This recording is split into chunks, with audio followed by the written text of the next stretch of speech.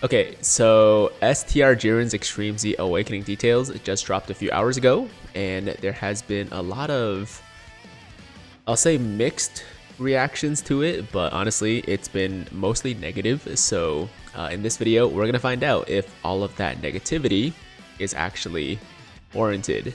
So without further ado, let's jump right into it, and we'll start with the pre-EZA details just for comparison purposes.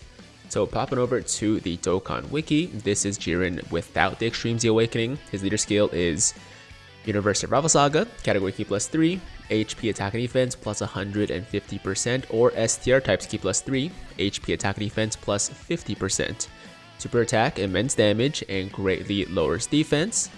And his passive, attack and defense plus 130% and medium chance to stun all enemies at the start of turn performs a critical hit on stunned enemies. So obviously, um, very old card and uh, you know very basic passive, but uh, he was a solid option for Super Battle Road at the very least, right? So that was Jiren pre EZA. Now with the Extreme Z Awakening, you would think because they made us wait for so long, and because he is, you know, at least like one of the main antagonists of Dragon Ball Super that they would, you know, go all out with him, right? Give him a lot of things. But as it turns out, uh, that was not quite the case. Now, I haven't had too much time to process this, so I don't think I have like a firm opinion on what the EZA is actually going to look like. But I think it's pretty clear at first glance that it's not it's not great. Anyways, let's get into it. Leader skill.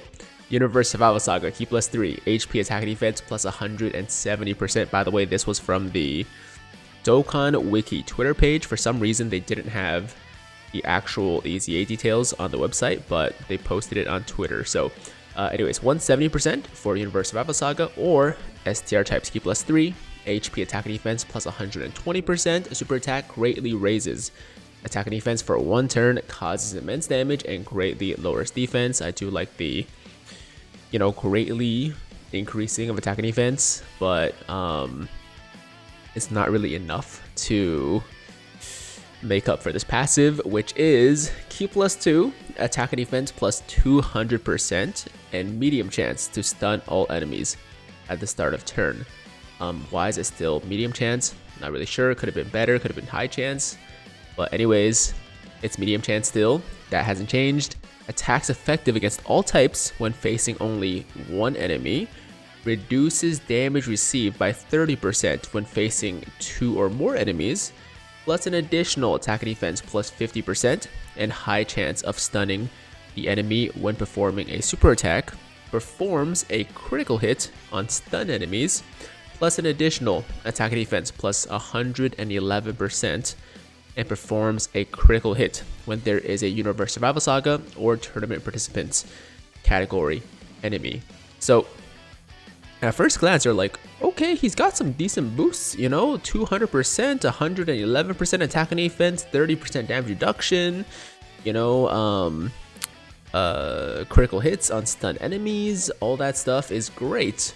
But then if you just think about it for a second, you're like, he's quite limited isn't he? Right? I mean, he's really mainly going to be used for like Universe Survival Saga or like, I mean, basically like specific Super Battle Road stages. Otherwise, I mean, against like single target, he doesn't get the damage reduction, which is like most events in the game, you're only facing one enemy, so no damage reduction there.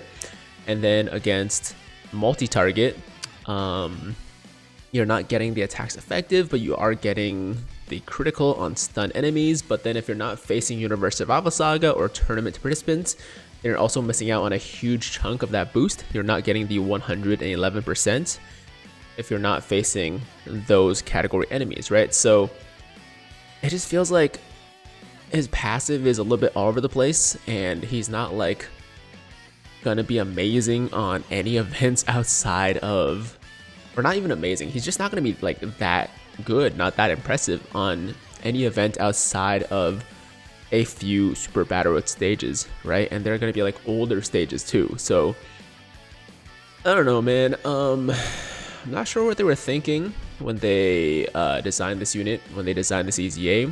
Like I said, it's Jiren, so I was expecting a lot. Um, it's also a very old unit. I mean, he was released in 2018. That was over five years ago at this point. Hold on, which month did he drop in 2018? Uh, oh, exactly. Okay, so exactly five years ago for global, and then obviously more than five years ago for JP. So, you know, making us wait that long, you would think they would uh, do more with him, but uh, they did not. they did not, and I think he's just gonna be one of those EZAs that's just forgotten about very, very quickly. Um, and that's a shame because Jiren needs more usable cards in this game. I mean, at this point, LR Jiren is like, you know, kind of pretty outdated too. So um, hopefully his EZA is really good, but uh, STR Jiren is not it.